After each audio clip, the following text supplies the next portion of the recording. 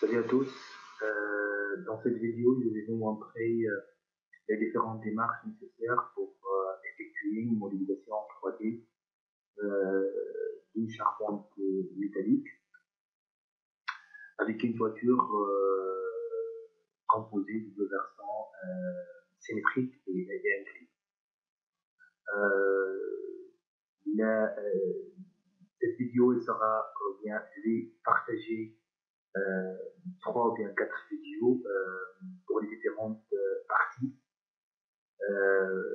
dans le but d'effectuer une étude complète pour un projet en charpente métallique, la modélisation, chargement, ainsi que le dimensionnement et les vérifications de différents éléments. Comme j'insiste toujours à effectuer une modélisation en 3D à partir d'un modèle 2D pour qu'on puisse euh, générer correctement euh, surtout l'action du, euh, du vent.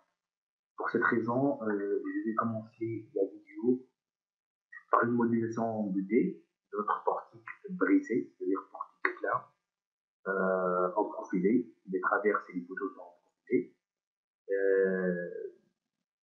Après, je vais vous montrer comment on va générer le modèle.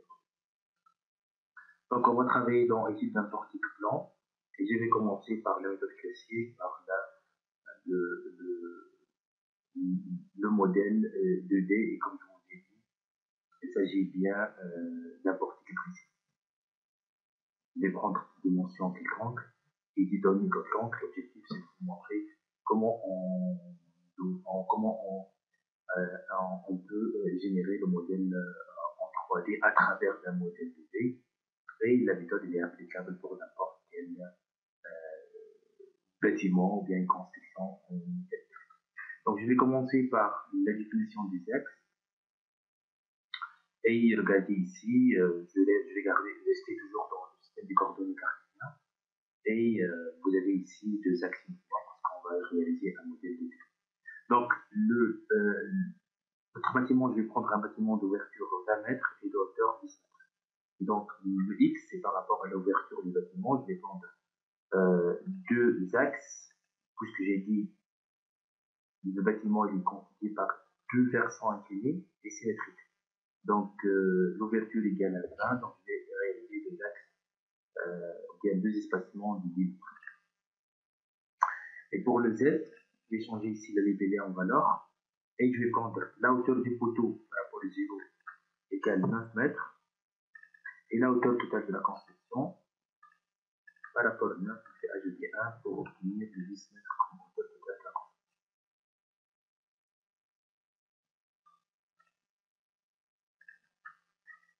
Donc, je vais commencer par barre. Comme dimension, comme décision choisie pour notre projet, les poteaux et les traverses sont des, euh, des profilés laminés, sont des éléments profilés, laminés. Euh, et la famille, c'est la famille bleue. Je vais commencer par je vais proposer un IPE 330 pour les traverses et un IPE 400 pour les poteaux. Bien sûr, euh, reste à vérifier après lors du, euh, du dimensionnement.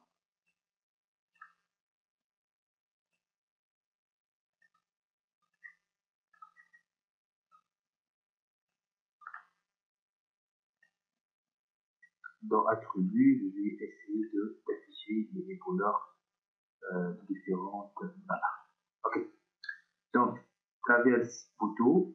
Bien sûr, la liaison ici, il s'agit bien de, de l'encastrement. D'un encastrement. Et euh, effectué par un jarret. Hmm?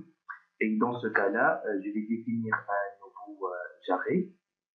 Et comme je vous ai dit, bon, comme j'ai toujours que pour prédimension, puisqu'il s'agit bien ici d'une traverse en profilé, donc il s'agit bien d'un profilé. Comme prédimensionnement euh, pour les jarrets, je vais prendre le 10% comme longueur de la longueur totale de la traverse et la même hauteur du profil.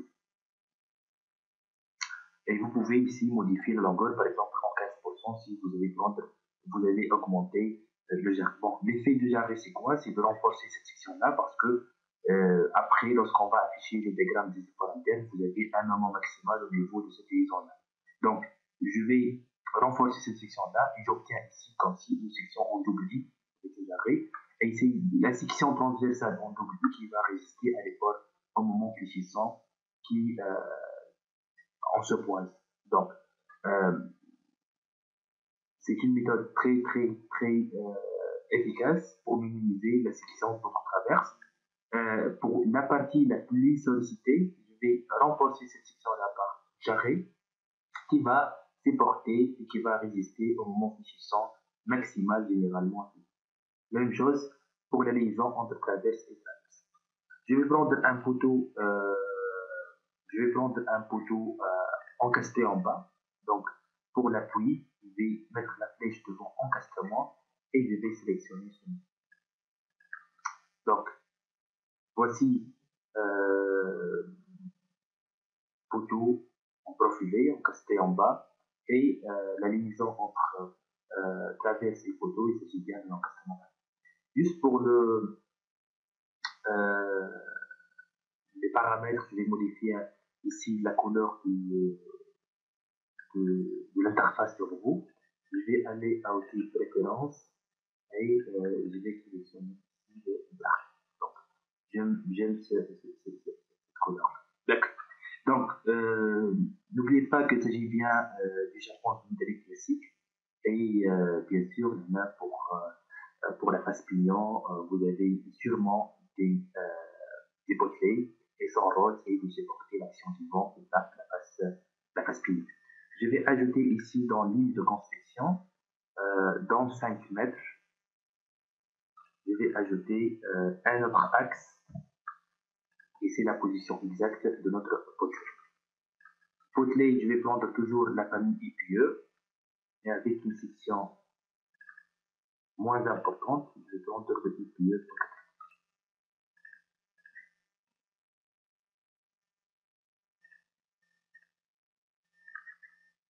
Et bien sûr, potelet, je vais prendre une articulation. Dans le calcul, on considère le comme étant une poutre euh, isostatique soumise à une charge répartie. C'est quoi la charge répartie C'est la charge c'est la charge du vent appliquée sur la face pignon et transmise vers les potelets et son rôle c'est de supporter cette charge-là et de transmettre les charges vers les euh, éléments de contreventement et dans ce cas-là euh, vers les poutres au, au vent. Pour le relâchement des potelets, déjà préparé, euh, je vais relâcher le déplacement par rapport à X, par rapport au repère local, déplacement par rapport à X, et la rotation par rapport à Z, parce que son rôle, c'est de supporter uniquement euh, l'action du vent et non pas la décharge descendante. Le relâchement a été, euh, le relâchement a été euh, ajouté dans notre poteau. Aussi,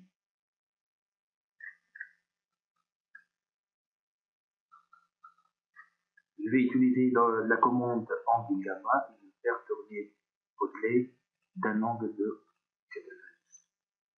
Bon, pourquoi bon, Finalement, elle, elle, sera soumise à la friction par rapport à l'axe Et, et j'ai fait tourner potelet d'un angle de 90 pour que Y, c'est celle qui va participer dans euh, l'inertie par rapport à Y, c'est celle qui va participer dans la résistance. Ok, donc j'ai travaillé sur la moitié euh, du portique du sanité et je vais effectuer par la suite une coupure par, euh, par. J'ajoute un autre axe, c'est à, normalement c'est à 15 mètres par rapport au zéro pour la deuxième position de notre potelet. Deux potelets existent dans notre construction, bien sûr, pour la partie droite. Je sélectionne la moitié, je vais effectuer une rotation, une transformation, une, copie par miroir Donc, qu'il me reste, c'est les jarrets au niveau de la liaison. Non, pardon. C'est la, liaison au niveau des traverses. Euh, jarret, et je vais ajouter les jarrets au niveau de cette liaison. Donc, regardez ici, comme si une poutre puis encastrée, les moments maximaux sûrement au niveau des appuis, et dans ce cas-là, je vais renforcer la section avec des jarrets pour que la section qui résiste à un moment fléchissant maximal, c'est une section en double Et vous avez dans les cours de l'RDM et de la mécanique des structures que les caractéristiques géométriques interviennent dans la résistance de la poutre ou bien de l'élément. Euh, si elle est soumise à la friction, donc c'est l'inertie qui va euh, intervenir et bien sûr l'inertie d'une section en double vis est plus importante que l'inertie euh, d'une section en simple I ainsi que le module de résistance à la. Toutes les caractéristiques géométriques et l'air aussi de la section transversale sont plus importantes au niveau de la poutre grâce à l'ajout de, cette, de ce jarret. Donc, vous avez ici notre portique de stabilité, euh, bien sûr, pour le portique pignon. Celle-ci, c'est le portique, c'est le portique pignon. Je vais commencer euh, par générer le modèle en 3D et je vais cliquer toujours sur chaque mouvement 2D, 3D. 2D, si je vais générer, je vais garder uniquement le modèle 2D, je cherche la note de calcul et les actions du qui s'appliquent sur ce portique-là, ou, bien je vais générer le modèle 3 L'enveloppe, je vais cliquer sur Retour, et va sélectionner les parois et surface extérieure de notre construction. Notre bâtiment, il s'agit bien d'un bâtiment sans accrocheur, euh, avec base non reposant au sol, bien sûr, dans notre cas, c'est une construction reposant sur, le sol. Donc, je, vais cocher cette section-là si vous avez une construction qui ne repose pas sur le sol, c'est-à-dire vous avez euh, la structure en béton armé et la couverture est en charpente métallique. Dans ce cas-là, il faut tenir compte de cette partie-là dans l'action du vent parce que la hauteur, c'est la hauteur totale de la construction dans le véhicule euh, effectué. Donc la profondeur de la construction, je vais prendre euh, 60, euh, 60 mètres. L'anthrax entre les portiques 6 mètres. Donc j'ai 11 euh, portiques et je vais chercher l'action du vent. Pour le paramètre, euh, vent 1, s'il s'agit bien de la région 1, vent 2, s'il s'agit bien de la région 2, vent 3, s'il s'agit bien de la région 3. Je vais prendre vent 2.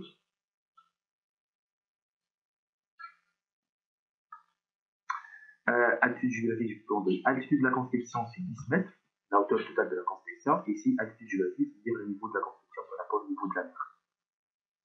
Euh, la flèche, c'est-à-dire cette dimension-là, c'est égal à 1 mètre. C'est lui qui va terminer ça automatiquement. Et l'action du vent elle sera appliquée sur les parois extérieures, parois verticales et les versants pour notre, cas. Pour le vent, vous avez ici région 2.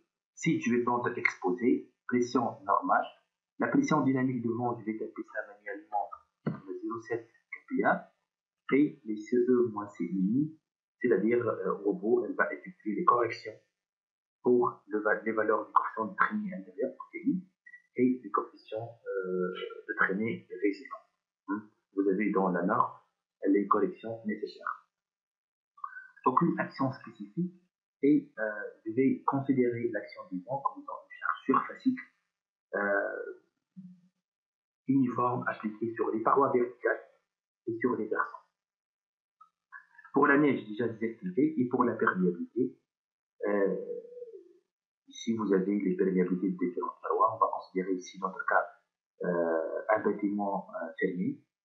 Euh, mais si vous avez la perméabilité de différentes parois, face l'empont gauche, face l'empont droite, ou bien les faces pignon avant, face pignon arrière, maintenant vous pouvez taper le rapport entre la surface d'ouverture sur la surface totale de la paroi. Ça va influencer, bien sûr, dans les valeurs des coefficients traînés et dans la norme NV65, vous avez les différents cas pour les constructions fermées, pour les constructions ouvertes, ou bien pour les constructions partiellement Normalement, je dois cliquer sur Générer. Je vais générer le vent en 2D et je peux récupérer les notes de Mais je vais cliquer sur Générer en 3D. Vous avez ici position des portiques, vous avez le lien. Euh, donc vous avez ici euh, une profondeur de 60 mètres et, euh, euh, un autre axe égal à 6 mètres. 60 sur 6, ça fait 10, 10 justement, donc en sport. Je vais sur définition. Les barres copient seulement dans les portiques pignons, les deux potelets. Et les barres sur lesquelles l'action du vent sera appliquée sont les barres verticales, et. Pour euh, ici, pour les, euh, les éléments de la toiture, les éléments de remplissage.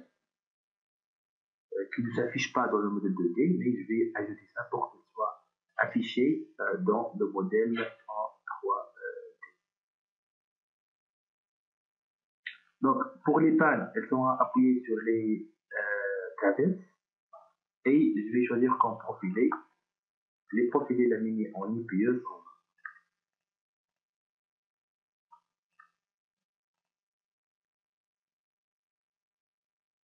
Pour la position du compte relatif, c'est-à-dire euh,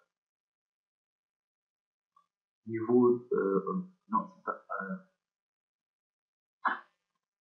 euh, je vais définir les positions des pannes, les différentes positions des différentes pannes sur la traverse. Et c'est symétrique, c'est la même chose pour la traverse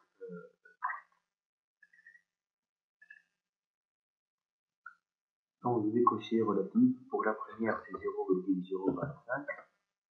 Après 0,25 euh, divisé sur 4, 4 espacements. J'ai 5 pas. Euh, 0,5, 0,75 et 0,964.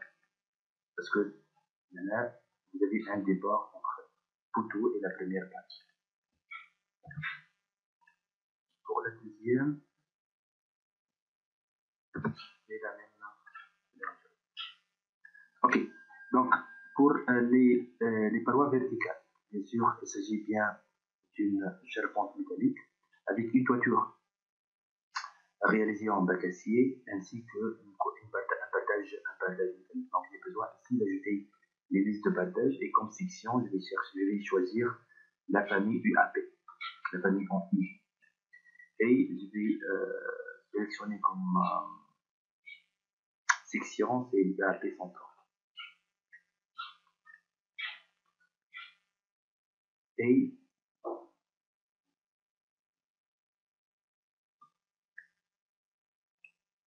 je vais mettre absolu, la fenêtre commence à 1 mètre et un espacement égal 2 mètres entre les 3, 5, 7,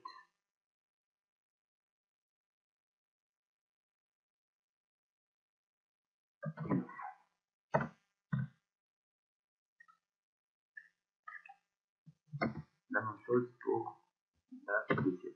Donc, avec cette méthode-là, j'ai défini les éléments de remplissage,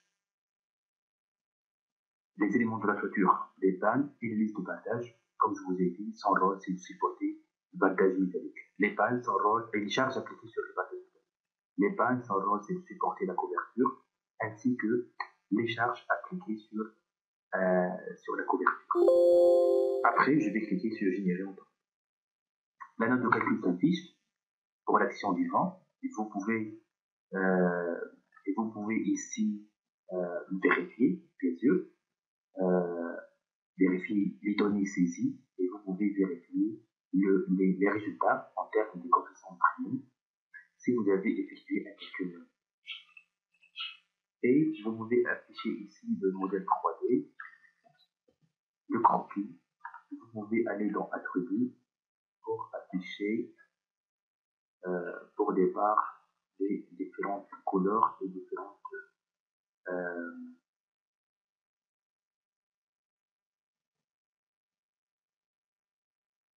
et, oh, là, j'ai oublié, regardez ici, j'ai oublié, lorsque j'ai généré le modèle 3D, j'ai oublié de changer la section pour les pannes euh, pour la traverse. C'est simple. Ici, vous pouvez aller directement ici et je vais sélectionner les EPE 180.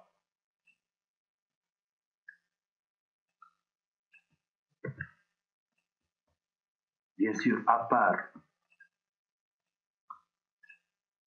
les, euh, les potelets,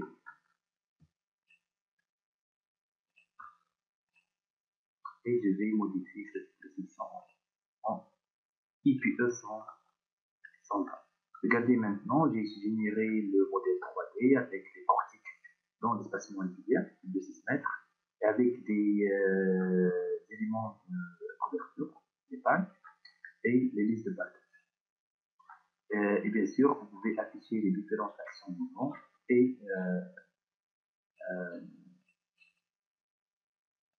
Bien sûr, dans ce cas-là, les différentes actions du vent pour les différentes directions et pour les, euh, la charge appliquée pour chaque élément. Les potelets, les listes de battage, les poteaux et les battes.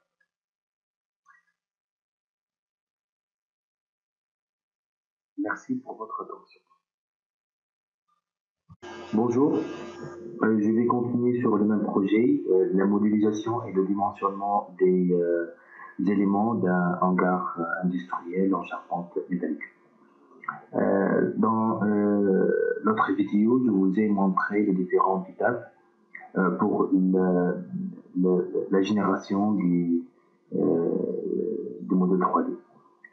et comme je vous ai montré, c'est à partir d'un modèle 2D pour bien euh, euh, simuler l'action du vent appliquée sur les différents éléments de notre euh, charpente métallique qui montre le modèle. Vous avez ici les actions du vent appliquées sur les différents éléments, sur les listes de partage, sur les pannes et sur les, les, les potelets. Donc, l'action du vent appliquée sur les listes de partage sera, supportée, par les poteaux une panne va transmettre la charge vers la traverse et les potelets vers les éléments de contreventement. Et euh, bien sûr, euh, comme vous connaissez, donc euh, pour le vent qui frappe la face longtemps, c'est le portique de stabilité qui va prendre la charge qui va assurer la stabilité du bâtiment vis-à-vis cette action-là. Et pour le vent qui frappe la face pignon, donc, ce sont les éléments de complémentement qui vont assurer la stabilité euh, de l'élément vis-à-vis cette euh, action. Donc, euh, je vais continuer donc avec le, ce modèle-là. Donc, je vais activer l'affichage des charges. Donc, je vais continuer avec les éléments de complémentement. Donc, je vais réaliser deux portiques, deux, je vais réaliser deux systèmes de complémentement pour le portique pignon avant et pour les portiques pignon arrière. Donc, J'ajoute ici euh, des euh, éléments en double cornière.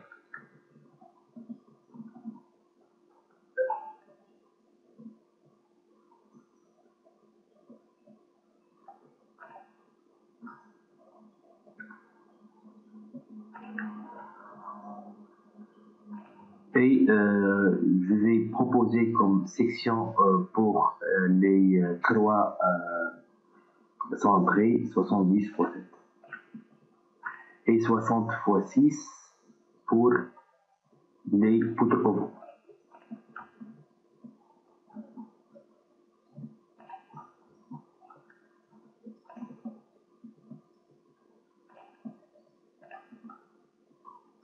Je vais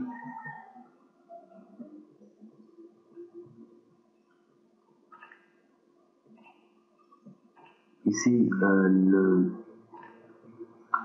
je travaille avec euh, des poutres au vent euh, chaque deux espacements entre les pannes. Donc l'action qui sera appliquée sur ce potelet-là, elle sera transmise vers les poutres au vent. Donc j'ai dit qu'il s'agit bien de double cornière 70 x 7 pour les trois centrés et des poutres au vent en double cornière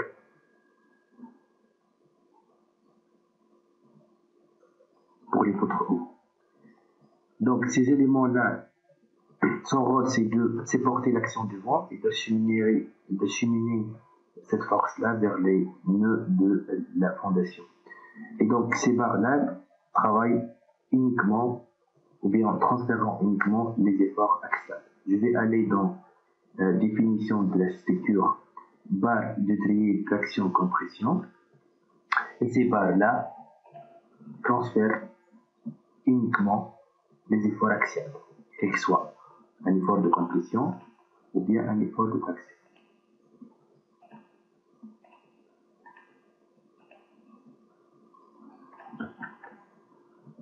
Et cette condition-là appliquée pour les croix centrées et pour les poutres au vent. Et maintenant, je vais effectuer une copie par miroir puisque notre construction, il s'agit bien d'une construction symétrique.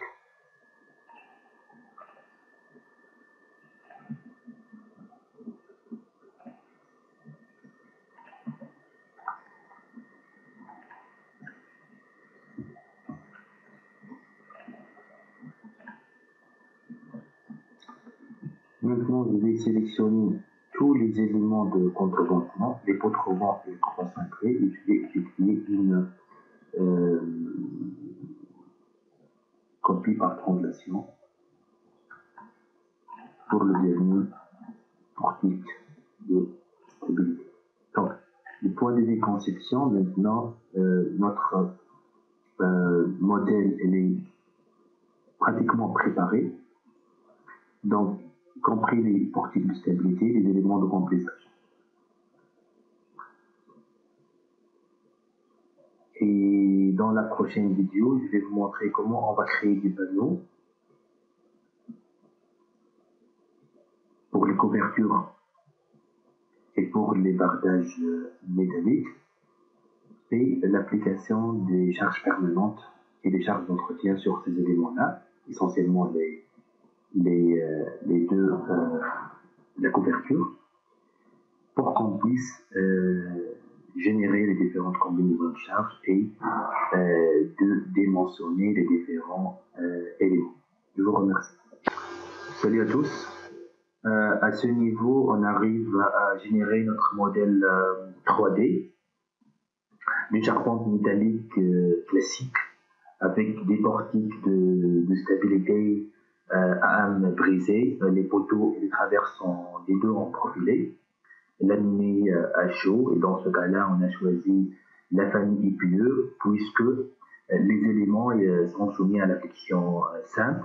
Et dans ce cas-là, on peut utiliser les profilés en I caractérisés par une forte inertie par rapport à l'axe Y. Donc ici, il faut faire attention au niveau de la disposition de la section pour, pour faire euh, euh, ou bien pour obliger euh, la participation de l'énergie par rapport à Y dans la résistance des éléments, euh, et ces éléments-là travaillent finalement à la, composée, si je parle des éléments de notre stabilité.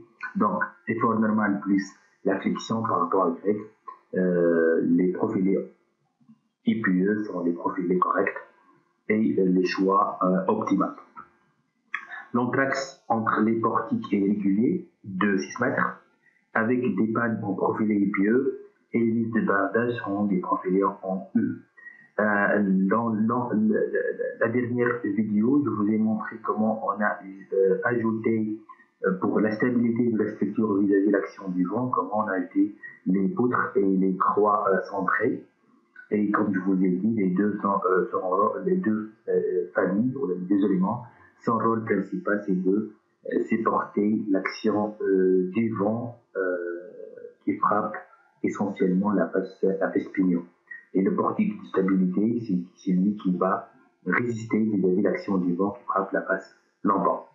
Euh, donc, à ce niveau, le, les charges appliquées jusqu'à maintenant sont les actions climatiques, l'action du vent, euh, générées selon le NV65, euh, d'une façon correcte, euh, comme je vous l'ai montré à travers le modèle 2D. On a généré le modèle 3D et donc euh, par la suite toutes les, les actions du vent, vent pignon, vent longtemps, surpression et dépression ont été générées.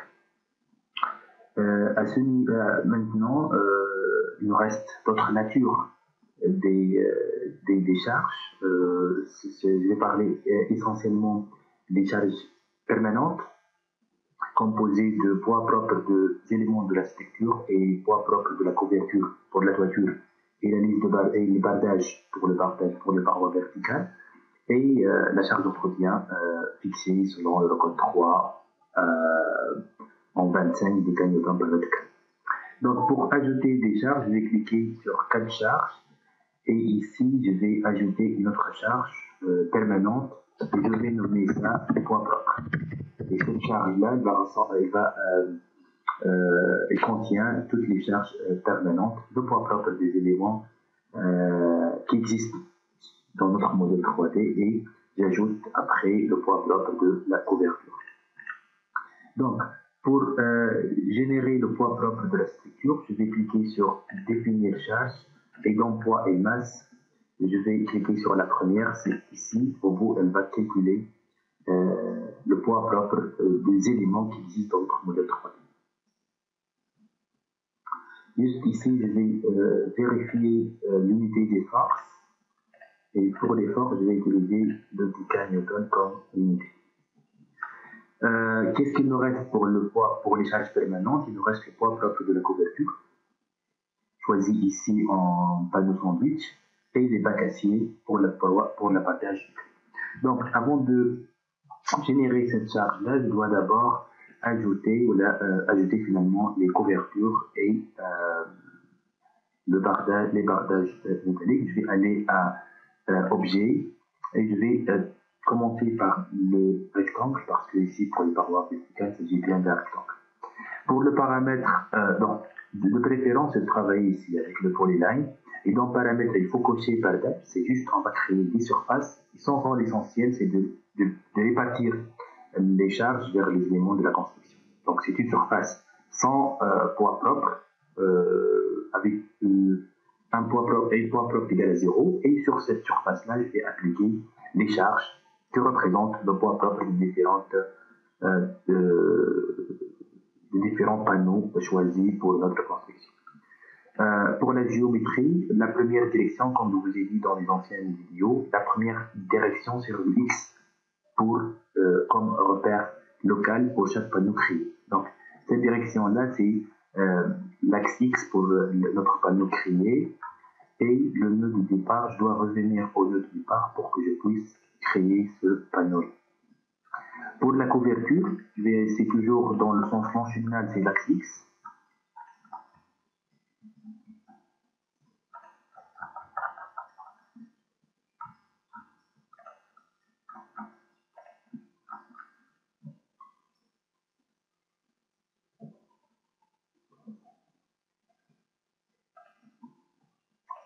pour la face pignon, la même chose. Toujours, le point de départ, c'est le point d'arrivée. Ok. Donc, pour ces panneaux-là, je vais aller à attributs et pour les panneaux, euh, je vais afficher la zone de répartition de la charge. Parce que par défaut, robot, elle va générer des panneaux qui portent dans deux sens. Le sens porteur pour les bardages, c'est vers les listes de bardage, donc c'est la, la flèche verte. Et la même chose, la flèche verte aussi pour la toiture. Et la flèche jaune pour les potelets. Donc, il suffit de cliquer sur le panneau et dans deux directions par défaut, je vais choisir quelle direction, le Y, parce que X, c'est l'axe euh, euh, choisi, euh, la première sens, le premier sens et la première direction choisie. Pour les couvertures, c'est toujours l'axe Y le sens porteur de ce panneau-là, et le X pour la face premier, euh, la première direction et le premier sens choisi, c'est l'axe X pour le repère local de votre panneau que vous, que vous allez euh, créer. Donc il suffit de créer ces panneaux-là, je vais effectuer par la suite des copies par, euh, par translation pour ce panneau-là.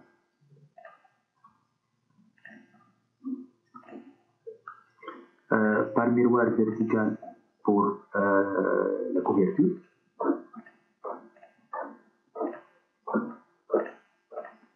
Et par translation pour la face pignon.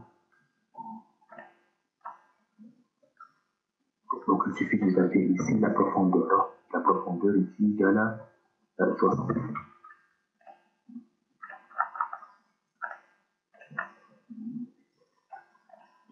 Je reviens à de charge. Je vais appliquer une charge surfacique uniformément répartie d'intensité moins 11.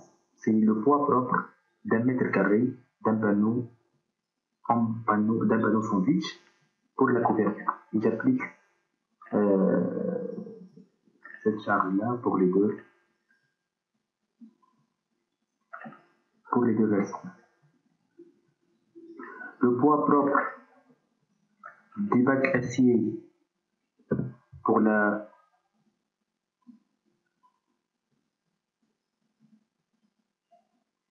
pour les parois verticales. Il s'agit bien d'un bac acier simple d'épaisseur 0,75 mm, donc à peu près le poids d'un mètre carré égal euh, moins 7 des de temps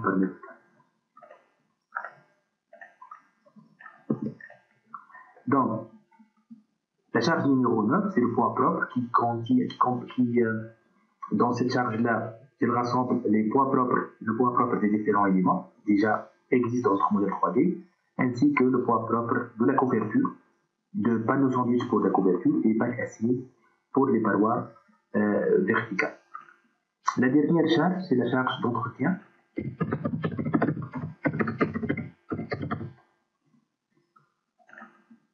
C'est une charge d'exploitation d'intensité moins 25 appliquée sur la toiture.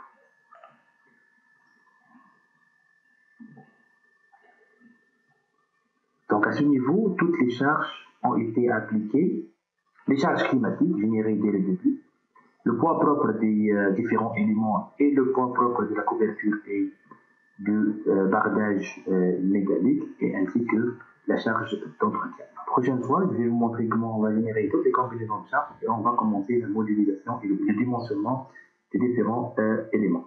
Merci. Bonsoir. Euh, dans cette vidéo, je vais vous montrer euh, les différentes étapes euh, qu'on va réaliser pour dimensionner les différents éléments de notre construction. je vous rappelle, il s'agit bien d'un hangar industriel en charpente métallique avec des portiques de stabilité pleins, avec des poutres, des traverses et des poteaux en profil. et la famille choisie dans ce projet-là, c'est la famille EPE pour les deux, poteaux et pour la traverse.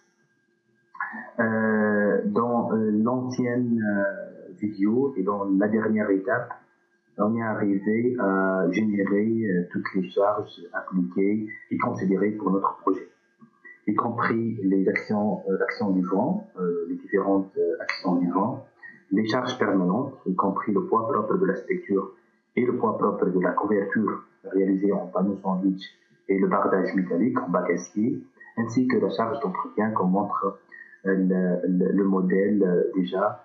Euh, notre construction est soumise à une charge répartie uniforme surfacique de d'intensité 25 kN par mètre carré, c'est déjà l'action du, c'est la charge d'entretien. Donc avant de commencer la, génération des combinaisons de charge,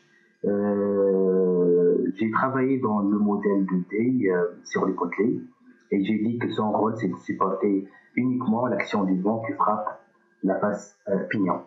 Et donc, euh, puisque dans le calcul, je vais considérer ça comme une charge, une poutre soumise à l'infection, euh, et la charge répartie, c'est uniquement l'action euh, du vent qui s'applique à ce, à ce panneau-là. et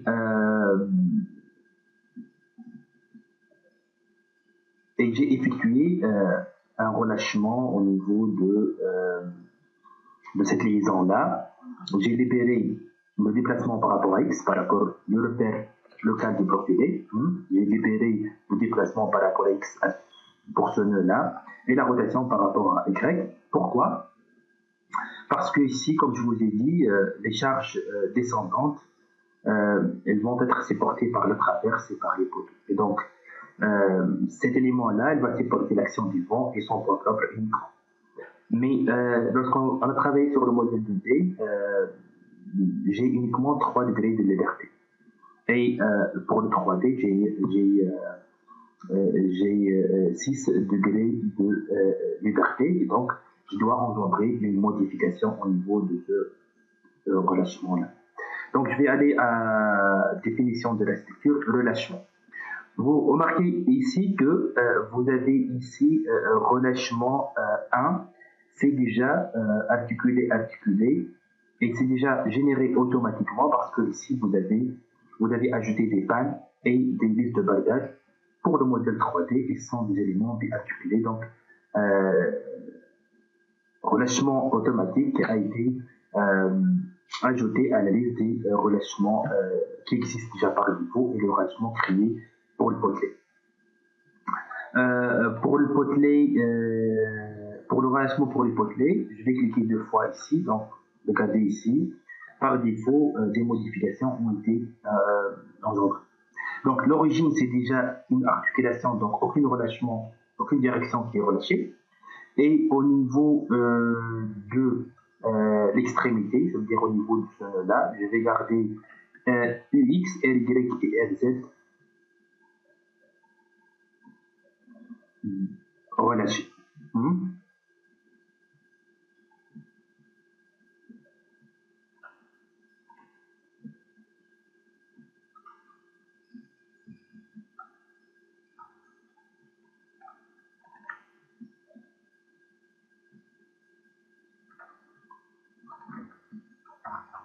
Donc, qu'est-ce que j'ai fait? Comme je vous ai dit, un relâchement qui a été créé déjà automatiquement pour les, pour les pannes et les croix euh, et les listes de partage.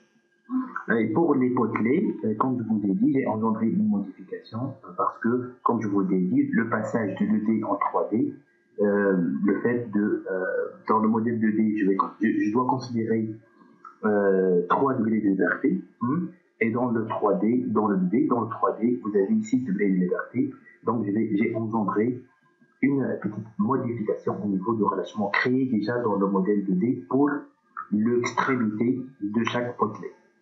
Donc, à l'origine, c'est-à-dire au niveau de la fondation, c'est la rotule déjà définie euh, comme appui. Et euh, au niveau de l'extrémité, toujours le UX, elle est libre, c'est-à-dire ce nœud-là, elle, elle, a la liberté de se déplacer verticalement, et comme ça, je vais négliger pour cet élément-là de supporter les actions descendantes, c'est-à-dire les charges euh, engendrées par le poids propre différents éléments et la charge euh, d'entretien et l'action du vent euh, descendante ou descendante. en réalité, ça veut dire surchanté, à ce niveau-là, vous avez un assemblage avec un trou, un trou blanc pour laisser la liberté de ce nœud-là de se déplacer verticalement et d'effectuer ces rotations-là par rapport de repère local. Donc, c'est bon au niveau des, des relâchements. Je vais passer directement pour générer les combinaisons de charges, je dois vérifier d'abord les notes. Je vais aller à outils de référence de la tâche. Et dans l'ordre de conception, je vais mettre ici pour les structures acier aluminium. Euh, NFEN 1993-1, c'est la partie de l'Eurocode 3 qui s'intéresse au bâtiment en charpente euh, pour les euh, combinaisons de charges, c'est aussi euh, par rapport à la norme 3.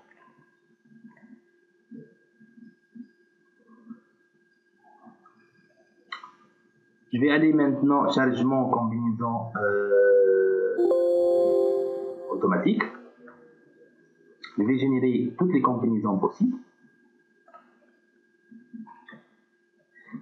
À l'état limite ultime, à l'état limite service, je dois vérifier ici que toutes les charges sont sélectionnées. Il faut faire attention ici pour les actions du vent. Comme je vous ai dit, euh, le vent a été généré selon le NP65 et les combinaisons, elles seront générées par rapport au code 3. Qu'est-ce qu'il dit dans le code 3 Il dit que si vous avez la pression normale, je vais majorer cette pression-là par 1,2. Si vous avez une pression extrême pour le vent, euh, je vais euh, utiliser l'action du vent telle qu'elle est dans les combinaisons de charge. Donc, ici, pour je vais considérer que la pression est normale. Vous avez un coefficient ici qui est à 1. Je vais garder 1 si vous avez une pression extrême. Et je, vais, je dois modifier cette, ce coefficient-là en 1,2 si vous avez une pression normale. La différence, c'est quoi exactement? Qu'est-ce que ça veut dire pression normale? C'est-à-dire, je vais prendre la vitesse du vent enregistrée dans la station du météo et je vais prendre la valeur moyenne des vitesses enregistrées pendant une période de tour donnée. Donc, pression normale, c'est-à-dire la, pression du vent, considérée ou bien calculée en se basant sur la valeur moyenne de la vitesse du vent enregistrée pendant une période de retour donnée. Donc, et extrême, c'est-à-dire je vais prendre la plus grande valeur de la vitesse du vent enregistrée pendant la période indiquée. Donc, extrême, c'est plus important que normal. Généralement, on travaille avec la pression normale et dans la combinaison de charge, je vais majorer cette pression-là par 1,2. Pour modifier ce coefficient-là, je vais sélectionner toutes les actions du vent et je vais cliquer sur Éditer paramètres. Et ici, je vais mettre 1,2 au lieu de... Vous devez réaliser, effectuer cette étape-là, cette modification-là, uniquement si vous avez comme donnée du projet une pression normale pour votre euh, action du vent, comme donnée du vent. Et donc, euh, dans les combinaisons de charges, les charges variables, le coefficient de sécurité, c'est toujours égal à 1,5, mais euh,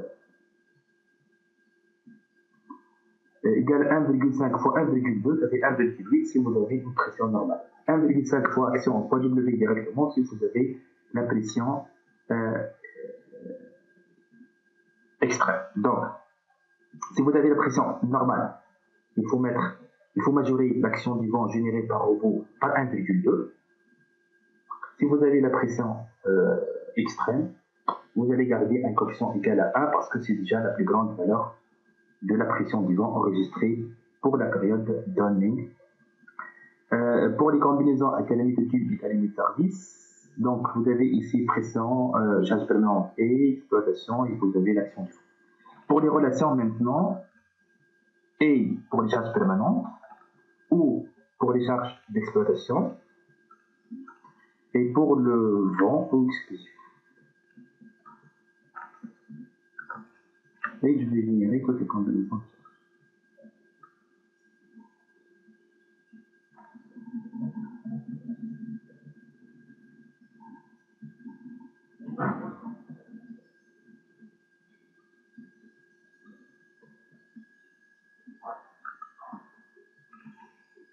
La longueur déchargée, non Longueur déchargée est supérieure ou égale à la longueur de la bâche je dois vérifier ça. Donc, qu'est-ce que je vais faire? Je vais isoler les poteaux et les, traverses pour regarder c'est quoi le problème exactement.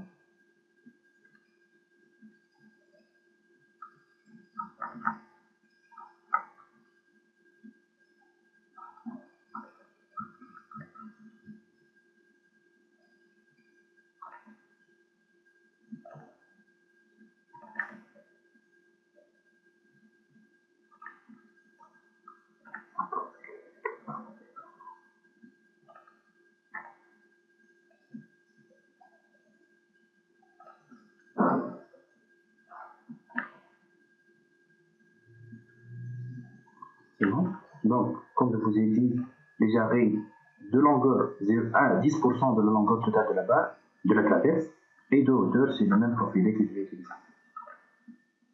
Donc, regardez maintenant, toutes les combinaisons de charges ont été euh, générées à et à. Dans 11, vous avez toutes les combinaisons de charges à et dans, euh, et dans 14, vous avez toutes les combinaisons à service. Pour afficher toutes les combinaisons de charge, je vais aller à chargement, tableau de combinaison. Et je vais sélectionner toutes les combinaisons de charge, bouton droit, transformer pendulation en combinaison. Cette option-là, il nous permet d'afficher toutes les combinaisons de charge générées par robot, quel que soit à l'état limite ou bien à l'état limite service.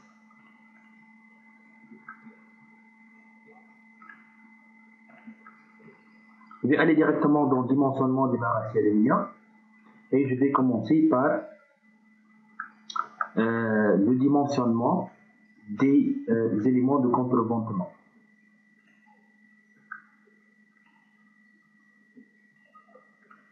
Je vais commencer par les croix centrées réalisées par double cornière 60 x 7, 70 x 7 et euh, les poutres au vent par double cornière 60 x 6.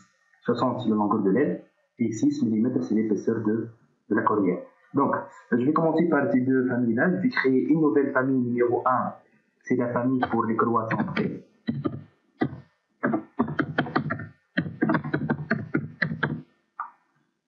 Pour la liste des pièces, je vais sélectionner ça rapidement, puisque je connais des profilés pour cette famille-là.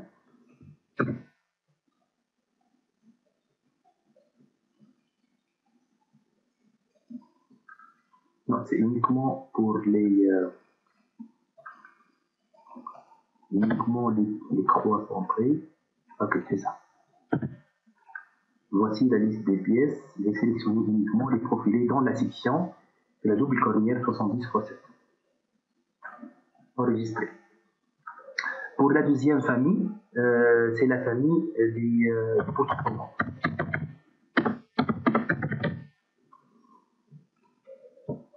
Et pour la liste, sont les profilés dans la section, c'est le 60 double cornière 60 x 6.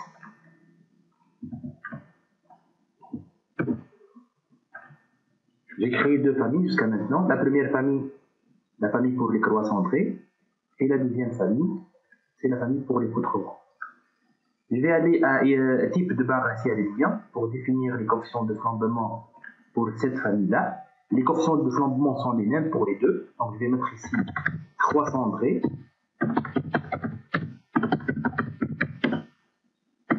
Et contre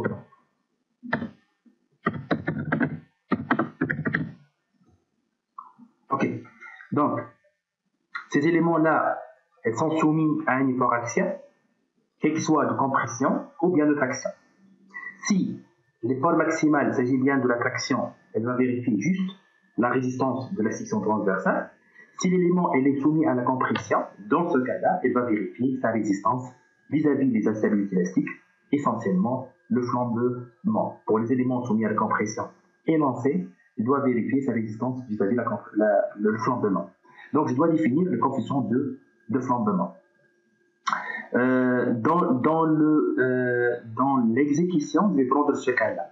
Donc, euh, pour les poutres vent et les croix centrées, la forme de croix, assemblées par un assemblage boulonné, et donc réellement c'est la moitié. Donc, je vais considérer que ça que c'est le biarticulé, mais réellement je ne vais pas considérer toute la longueur de la barre, mais c'est uniquement la moitié de la barre, parce que je vais considérer cet assemblage-là pour les croix centrées et pour les poutres Donc, il s'agit bien d'un croix, mais au milieu, chaque barre elle sera divisée sur, sur deux et l'assemblage, je vais considérer les liaisons de l'extrémité, c'est le but articulé. Donc, euh, je vais considérer juste la moitié de la longueur de chaque élément là. Regardez dans le dans le modèle euh, dans le modèle robot, euh, j'ai considérer toute une barre pour chaque élément. Mais dans la réalité, comme je vous ai dit, je vais considérer cet assemblage-là pour ces éléments-là. Donc le croix sera divisé au milieu.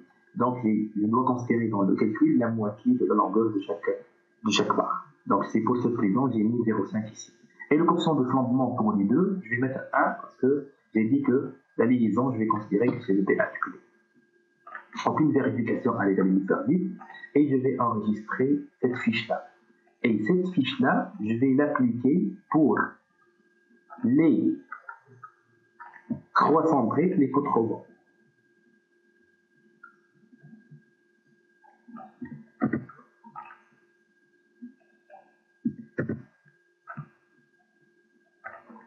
Je reviens ici, je vais mettre dimensionnement de la famille, les deux familles créées et je vais effectuer le dimensionnement à l'état limité par rapport à la combinaison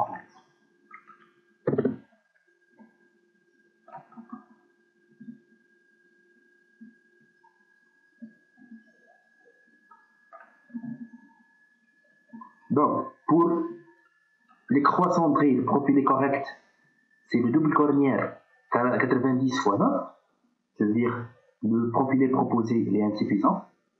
Et pour les euh, poutres au vent, c'est la double cornière, c'est la double cornière euh, 70 x 7. Donc il suffit de cliquer sur le profil correct et de cliquer par la suite sur changer. Bien sûr, cette opération peut modifier la base de données euh, contenant des informations sur le structure. Bien sûr, euh, le profil va changer et donc le poids propre de la structure aussi va changer. La même chose pour euh, les euh, poutres au euh, les profilés corrects sont les doubles cornières 70 x 7. Donc regardez maintenant, automatiquement les profilés ont été changés. La section des profilés. Donc si j'affiche la note de calcul pour les croix centrées, elle va vérifier le, flambement, ok, Parce que l'effort maximal, il s'agit bien d'un effort maximal de compression.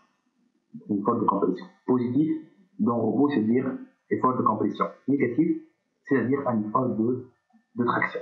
Donc, euh, une petite modification euh, au niveau de la fiche. J'ai remarqué ça dans la note de calcul affichée. Je lance le calcul d'abord. Bon, avant de lancer le calcul, je reviens ici à la fiche créée. Et pour, euh, plus, vous avez ici un effort, un, un, un effort normal. Uniforme sur toute la, barre.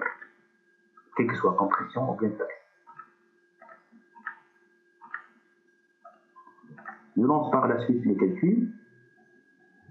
Et au lieu de, de, sélectionner ici la vérification dimensionnement, c'est bon, j'ai dimensionné les, les, éléments et j'ai terminé le profil grec, je vais vérifier maintenant par rapport à la nouvelle euh, euh, mise à jour.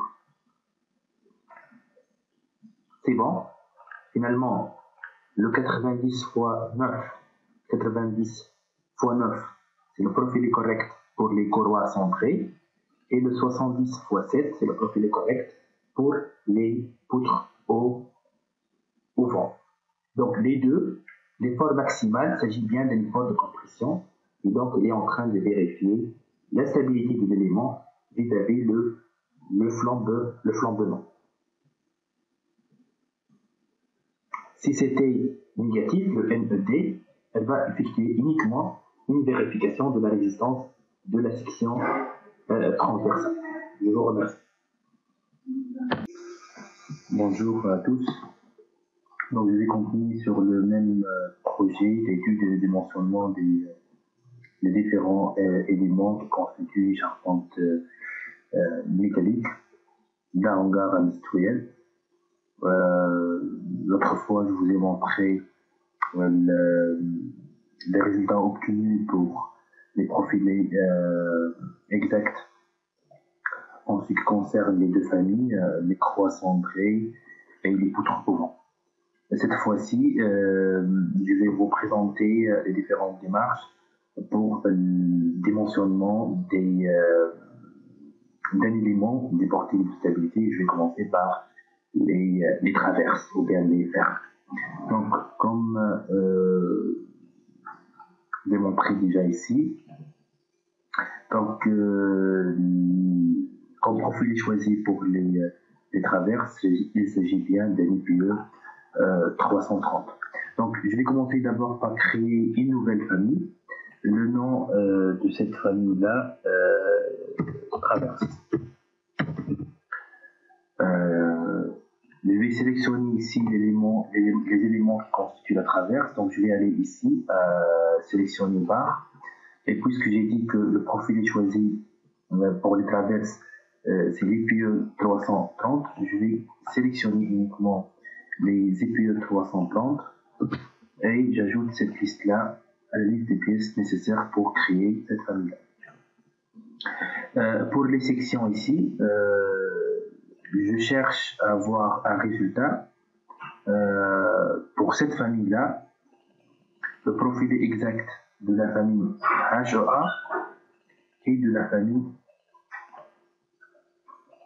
puis Donc, avec cette méthode-là, robot, elle va afficher, euh, pour le dimensionnement, elle va afficher euh, les résultats pour la famille euh, IPE et la famille HOA, et par la suite, l'ingénieur, c'est qu'il va choisir le profilé à, utiliser pour construire ce bâtiment.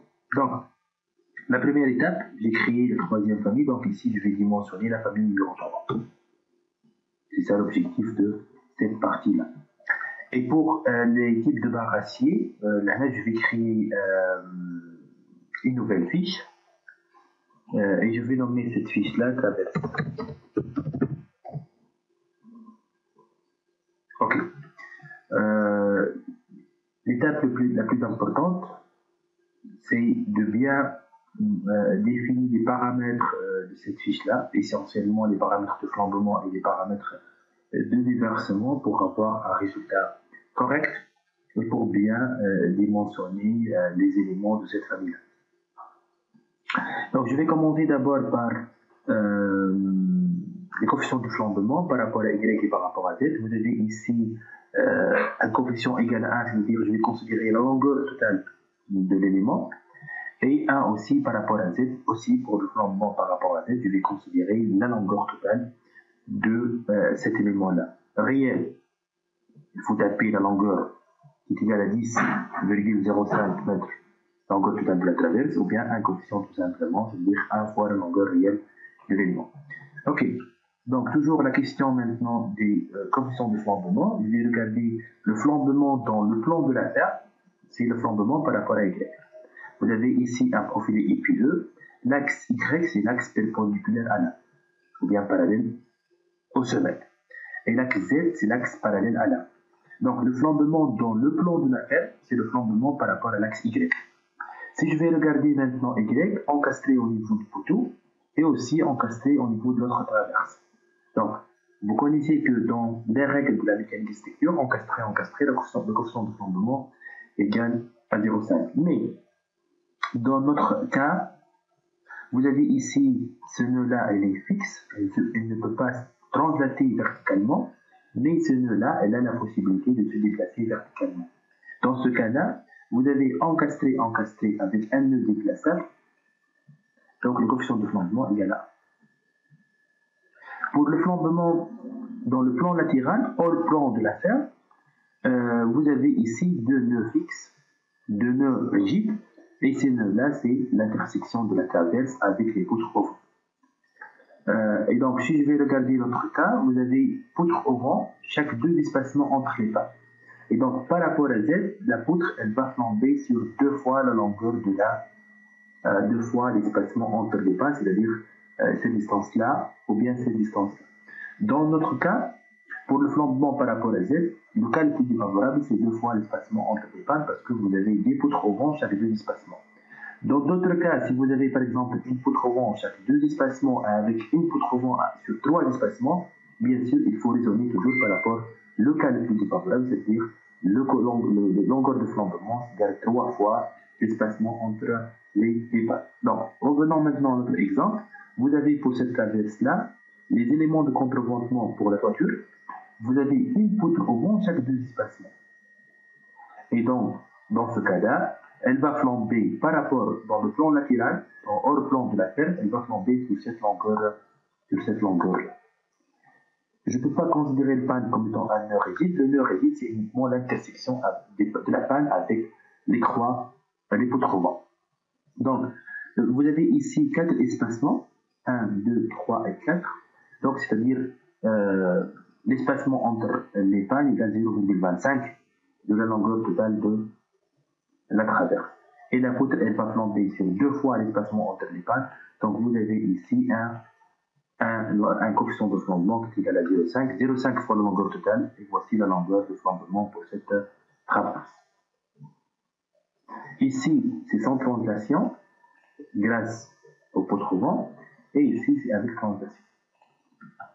Pour le déversement, vous avez un élément qui est soumis à la friction composée, donc il faut vérifier la résistance vis-à-vis flambement et le déversement. Et ici, je vais toujours noter le coefficient de flambement euh, par rapport à Z, donc 0,5 fois. Bien sûr, ici, vous avez L supérieur ou bien L inférieur. Je vais ici euh, parler de déversement par rapport, à deux, par rapport pour les, deux, pour les deux semaines, mais dans le cas où vous avez une semaine euh, renforcée, par exemple pour le cas des branches mixtes, je vais regarder uniquement la semaine euh, inférieure. À l'état limite service, donc je vais vérifier toujours la flèche verticale de la traverse par rapport à l'accès sur L sur 200. Et ici, vous avez Ici, vous avez euh, euh, moment euh, aux extrémités parce que vous avez une en encastrée.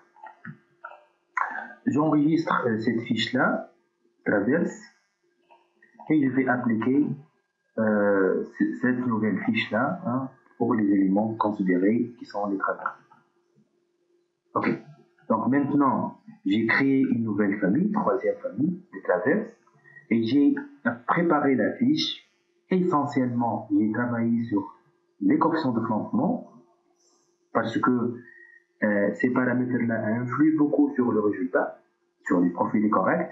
Et donc, il faut faire attention dans la définition des flambement. Je vais lancer le calcul euh, élément fini.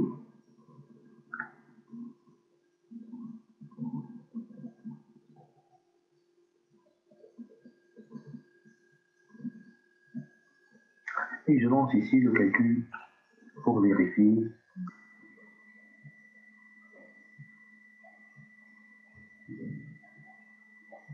Regardez ici, il a commencé de montrer des résultats hum, pour le profilé ou pour la famille HEA. Donc, un profilé obtenu euh, correct, c'est le HEA 260.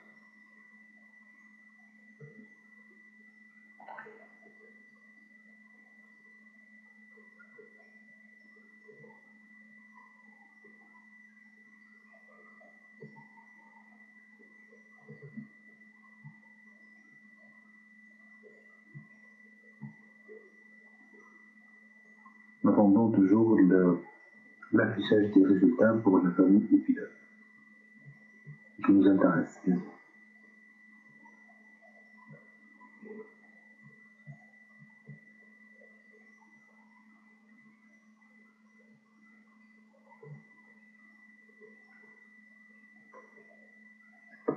Donc ici, regardez, euh, je vais en train de vérifier uniquement le, diversement à la résistance de la section transversale, logique parce que euh, vous pouvez remarquer ici que l'effort, il s'agit bien d'une effort de traction, donc euh, dans ce cas-là, on ne doit pas vérifier le flambement, il est considéré comme étant une poutre soumise à la fiction.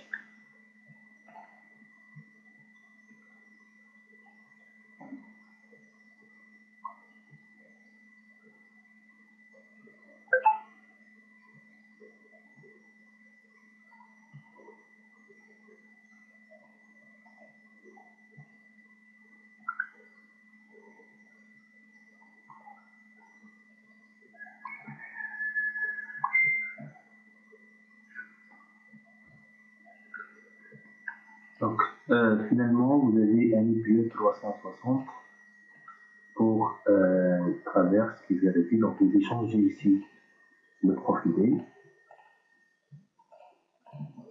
Vous avez maintenant un IPE 360 et je vais lancer le calcul de vous. Bien sûr, le poids propre de, de la structure doit être mis à jour et je vais cette fois-ci, je vais vérifier la famille.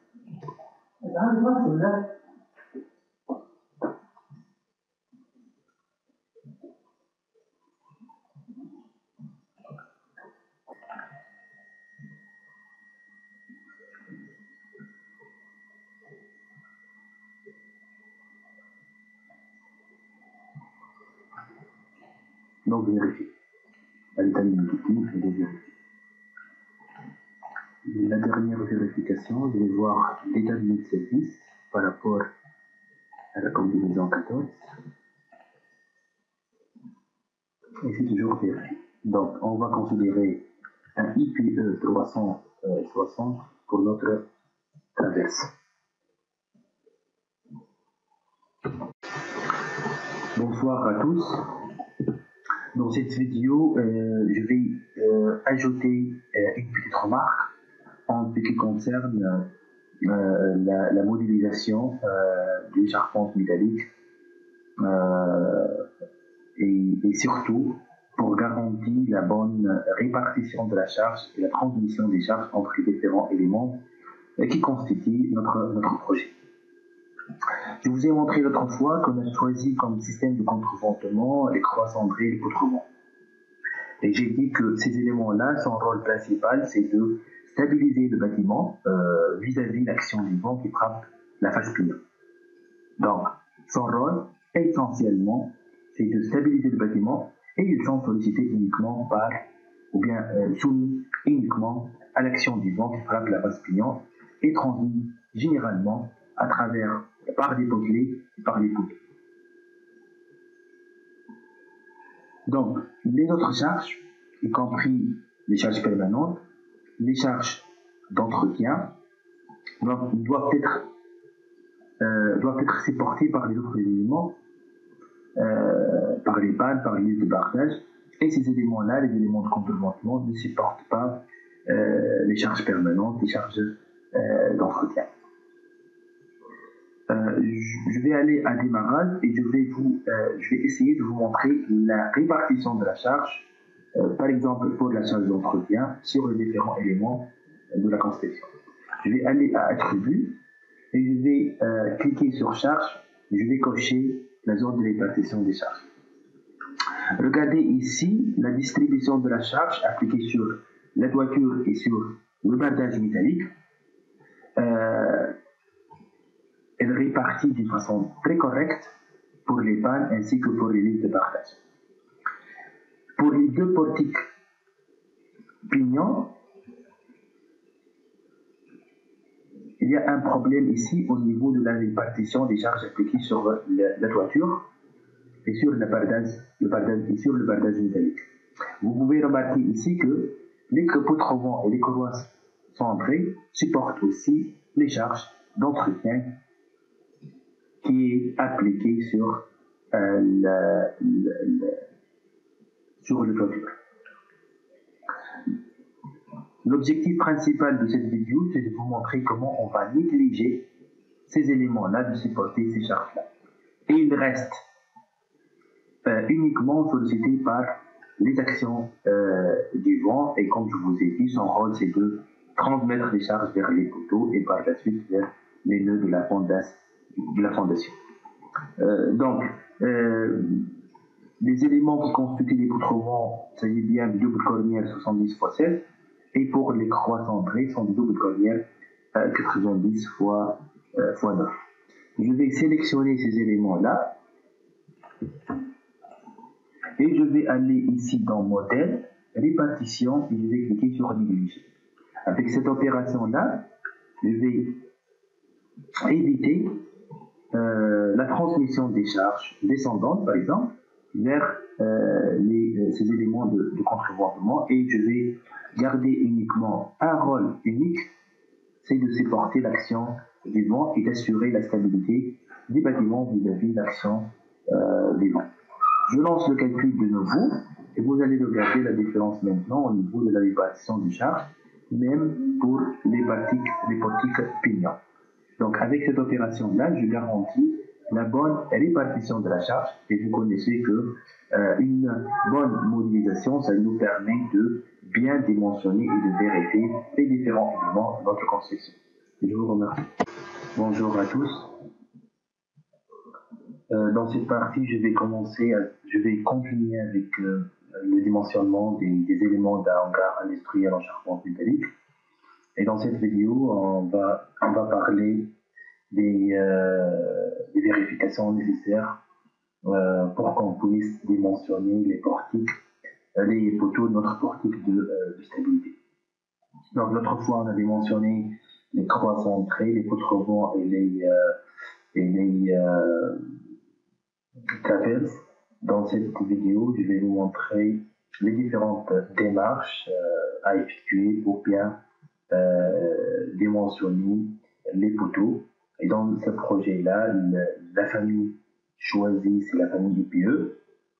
Et je vais essayer de vous montrer euh, les profils corrects pour la famille IPE et la famille HOA pour l'élément considéré.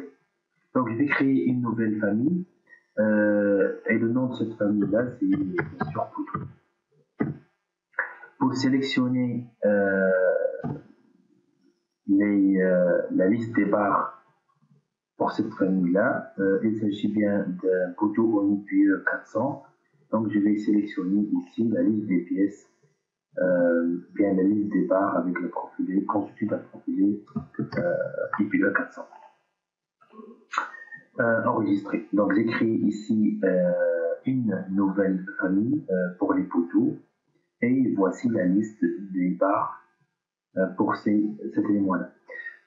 Pour la section, comme je vous ai dit l'autre fois, je vais chercher le résultat pour la famille HOA et pour la famille UPE. Donc c'est une méthode pour que Robot affiche les les différents euh, résultats, les différents profils corrects pour les différentes familles et, les différents types de profilés sélectionnés déjà. Donc, bien sûr, les poteaux sont des éléments soumis à la friction composée, donc, ou bien un IPE, ou bien un HEA. Pour les projets classiques, bien sûr, s'il s'agit bien d'un grand projet avec une grande hauteur et avec une charge très importante, donc on peut aller jusqu'à des en PLS. Euh, il me reste euh, la création de la liste, la fiche des paramètres pour les poteaux. Euh, dans ce cas-là, il s'agit bien d'un élément qui est soumis généralement à la fiction composée ou bien il est soumis à la fiction dans le cas où l'effort normal s'agit bien d'un effort de traction. donc, je vais considérer la hauteur totale des poteaux, donc coefficient 1, 1 par rapport, par rapport euh, Y et pour le flambement par rapport à Z. On va effectuer ici euh, un changement si vous avez par exemple un poteau traversé par une poutre rigide ici. Dans ce cas-là, par exemple, pour le flambement par rapport à Z, euh, elle sera, la longueur sera divisée sur, sur 2 et je vais nommer ici par exemple si la poutre traverse le poteau au milieu, donc je vais mettre ici 0,5. Sinon, je vais taper la longueur la plus la plus grande. Pour notre cas, il s'agit d'un bien poteau euh, encastré en bas et encastré avec la traverse en haut. Pour le flambement par rapport à Z, euh, hors plan, dans le plan latéral, je vais prendre un coefficient de 0,5. Pourquoi? Parce que vous avez ici un encastrement en bas et vous avez un nœud fixe grâce au croissant vrai. Donc ici, sans translation, et vous avez un coefficient de flambement qui est égal à 0,5.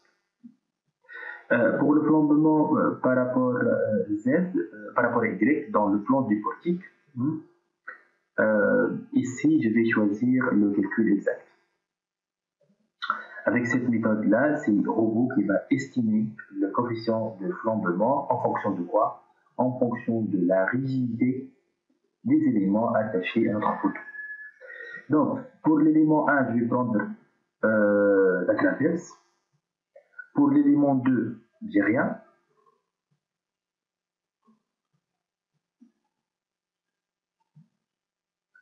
Et pour l'élément 3, 2 et 3, j'ai rien.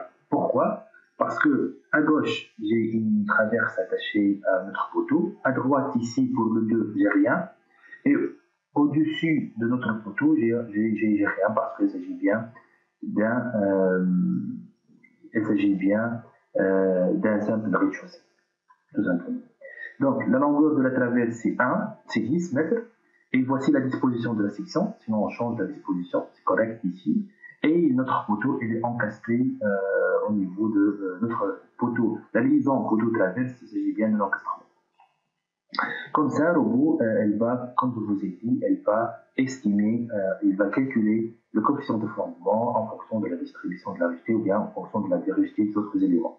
Et pour le flambement par rapport à Y, notre poteau est attaché à gauche par, à, la, traverse par une liaison encastrement. Euh, pour le déversement, puisqu'un élément qui est soumis à la friction composée, donc je vais vérifier sa résistance vis-à-vis du déversement, je vais prendre le cas Z, dans ce cas-là, égal à 0.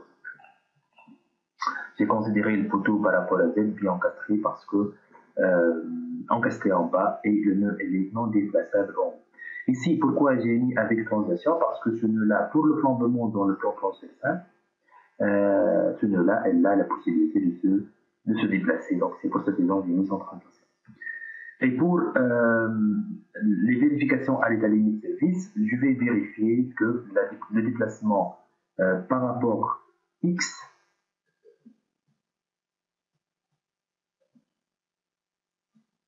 et par rapport à Y ne dépasse pas le, la longueur des photos sur 150.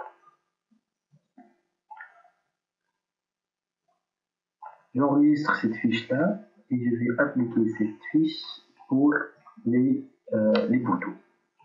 Et je vais encore une fois sélectionner, effectuer une, un IPE 400.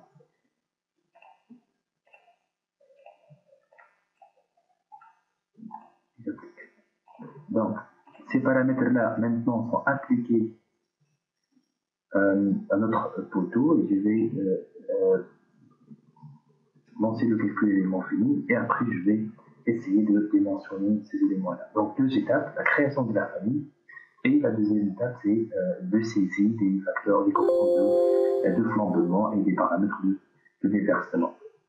Je vais effectuer toujours le dimensionnement à l'état limite euh, et Q, euh, mais euh, moi la c'est le dimensionnement de quelle famille? C'est la famille numéro 4.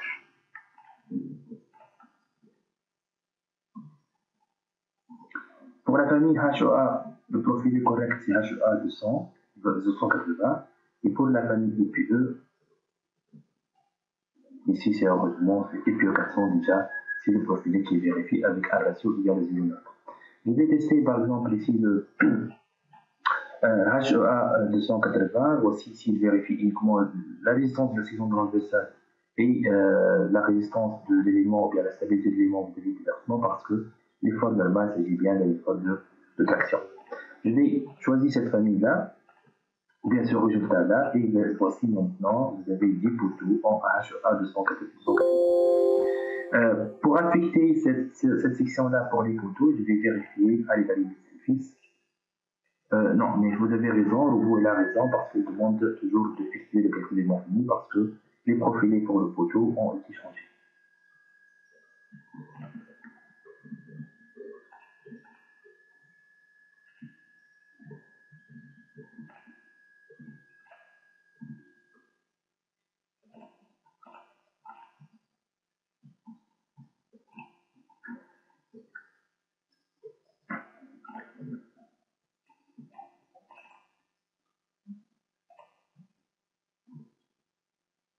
Classement photo, c'est ça.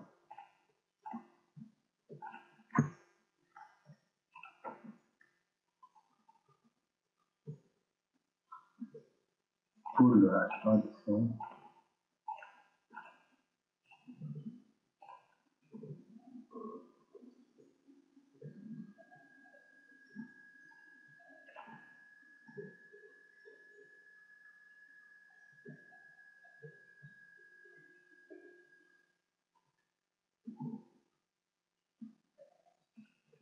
n'a pas effectué la vérification du déplacement tête poteau parce que dans la fiche,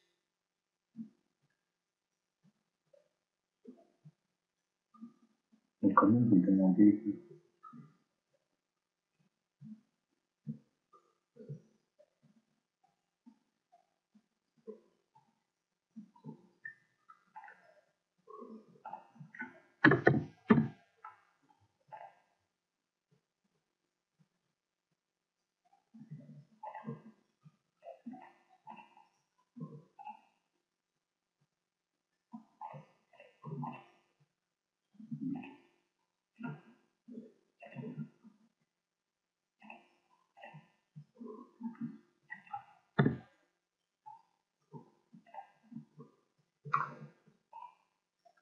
Donc le, la flèche, elle est encore vérifiée pour le profil des. Donc on garde un HA280 pour les photos. Parce que la, flèche, bon, le déplacement de photo égale 5,1, euh, proche de 6 mm, 6 cm qui est la flèche, la flèche limite.